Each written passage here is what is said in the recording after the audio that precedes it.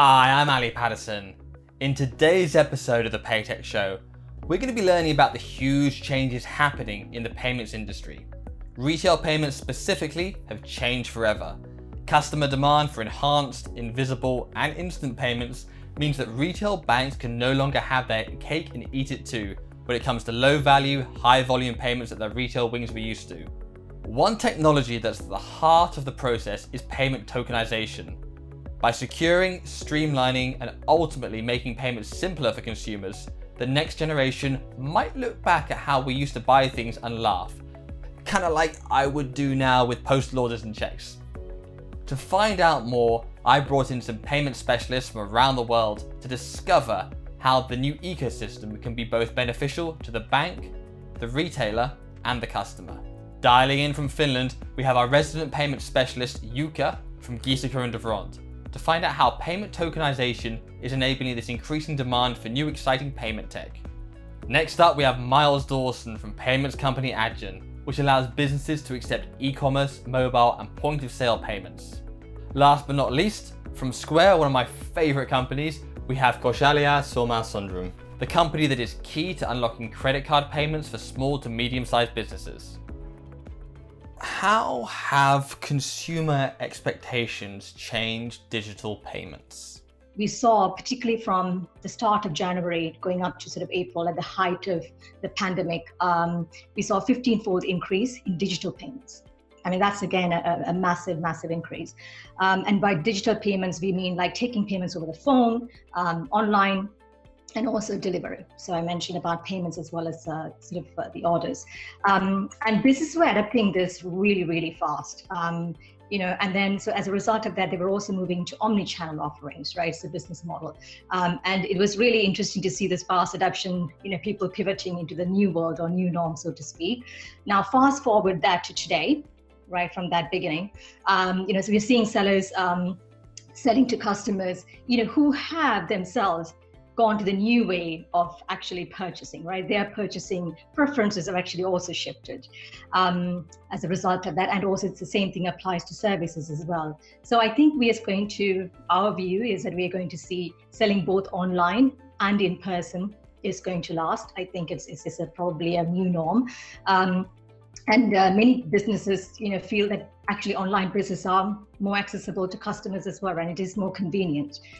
I think the first thing I'd say is what what we've definitely seen over that five year period is payments move from being a commodity item that was on a CFO's cost budget that would regularly come in and beat someone up to get lower rates to now actually it quite often sits front and center in the tech stack and is, is something that gets thought about a lot sooner in the process because it's you know it's definitely seen as an item that can really help build the right customer journeys that shopper want at, the same time as actually becoming a real barrier to innovation and, and global expansion.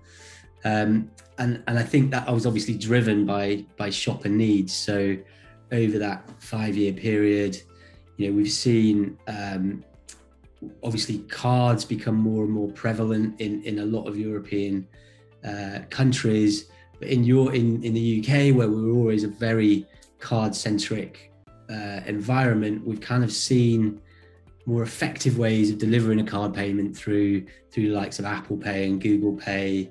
Um, you know, we're starting to see some ideas around where open banking might might take that to the next level.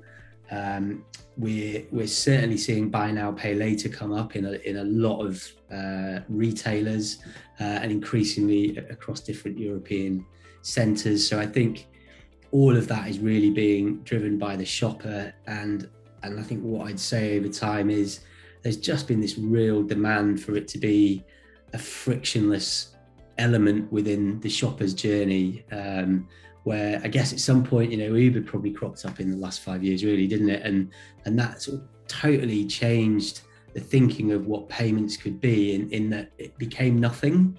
You know, you, you stored your card when you set up your account and then you booked a taxi, you got out of a taxi and some money was taken off you, but in a, such a seamless way. And if you imagine, you know how, how, does how does that app work if you've got some really clunky payment element as part of it it's it's just not going to be the same so i think you see that we see you know huge um, subscription businesses popping up everywhere. Um, again very global in nature. And and that has driven again this sort of hidden payment really. You, you pay once you subscribe the money comes off your card. What you don't want is you know your card expiring and suddenly you can't use netflix and you can't figure out how to update it. So i think that's driven a lot of innovation from the schemes which again is quite new in the last five years really you know they they would typically be there creating this really solid um, secure network across global banks and actually now they're really building innovation on those rails to help support the business models that we're seeing, which are, which are kind of being driven by shoppers. What can tokenization do to enhance the customer experience? Mm. I think most important thing is that the people shouldn't worry about whether there is a technology called the tokenization, uh, because all we want to do is to well, maybe pay, but more to buy. And then the payment is the necessary evil there in between. And uh, how this technically happens, uh, I think that's really important that uh, this is kind of a hidden from the co- consumer. Uh, but at the same time, of course, technologies like tokenization, which enables that you from your to make a really a kind of concrete example, we all have our payment cards. It has the PAN number, which is the 16 digit number there. So that's really uh, the origin of everything. And tokenization is basically making uh, surrogates, digital surrogates out of that one. And you can have as many as you can uh, want to. You can put a few on your different wallets, your digital wallets like Apple Pay, Google Pay, maybe. You can put one in, in your merchant A, And so forth. And you can then manage them dynamically. If you lose, for example, your phone, you can disable that token, but all the other tokens, as well as your original card, still works. So there is a lot of, uh, uh, let's say, benefits out of that one. And then enhancing the consumer experience, one um, uh, good example is, for example, when you do the uh, e-commerce online. Uh, and uh, what happens today is that if I want to buy something from a web shop, um, I store my card details there. So now with the tokenization, also all that information will be automatically updated. If my card, the real card, expiry date is expiring, I get a new card. Okay, I can uh, continue payment, but actually on that online merchant, that old information is still there. But with the tokenization, it will be automatically updated there in the backend system without any involvement from the consumer, which means when I want to buy next time and I have now the renewed card, renewed tokens too, it continues automatically. I don't need to start re entering my card. Uh, so small thing, but actually it is a big thing for the consumer because we often then actually stop that payment transaction at the point when we need to start doing something extra. And it's even a bigger thing, of course, for the merchant because then you have lost your customer. So there is a, a lot of these kind of a uh, let's say capabilities that tokenization can provide. Um, and, and one of our early kind of big value propositions was was card tokenization. Like we can tokenize your card and then you can do a one click payment. And you know you it's it's really interesting that we're still talking about that 8 years later. And i think we're talking about it because there's been so many iterations of of being able to do that and do that really seamlessly. Um, and ultimately it's still doing underpinning the same thing which is like a one click payment or a subscription payment um, or, or that kind of Uber model where it's almost like zero click. Um, but really, what what tokenization is doing is is kind of removing a lot of the PCI burden from the merchant and handing that over to the, the payment company who is effectively storing all of the card information and handing back a secure token so that when the shopper comes back and logs in um, the, the the kind of you know the retailer or the checkout is just passing that token back to the payment provider who who decrypts it and then uses card data through to the schemes to to create that transaction. Um, so it, it's I guess a really secure way to enable um, smaller retailers and um, and different kind of business models to really seamlessly create a payment flow. So generally speaking, um, you know, it would be fair to say that tokenization brings broadly few benefits. Um, you know, it's expected to be more secure, uh, better approval rates, right? As a result of that, lowering the fraud um, and also less card abandonment at the till. Um, so you may ask, like, what are the practical, you know, things that we have seen as you know coming out of this tokenization for our customers, right? Um, I would say all of them are centered around security. So security on the side of the cardholder on one hand, and security on the hand of also the sellers on the other hand. So the security on the heart of the cardholder is essentially um, fueled by the fact that it significantly reduces the risk uh, for customers in terms of losing their data, right? Because the number of parties who can actually see the data in, in terms of a transaction is is going to be limited through that encryption, um, and you can you cannot really reverse that engineering to reveal the customer data. So that's where the encryption comes to fore. And the second thing is from a seller's perspective, you know, how does it benefit? So if you think about it, seller is able to, in principle, there is, is making their businesses easier to accept payments. And what I mean by that is that we have standards like such as in a PCI, PCI data compliance standards, right? So by having a technology um, that allows you to encrypt the data such that the hackers can't actually easily hack, right? Makes it more PCI compliant. So again, it benefits the merchants as a result of being able to swiftly get through a customer journey from start to end. So I would say security is a key aspect of it.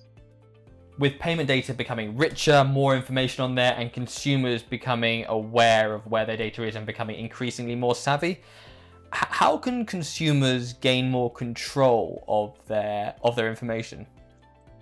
That is very, uh, I would say, tricky question because uh, first of all, if we are individuals, so we have an individual preferences how we want to manage our data, but uh, it's true that most of us uh, probably are quite sensitive uh, uh, our data which is related to our personal needs.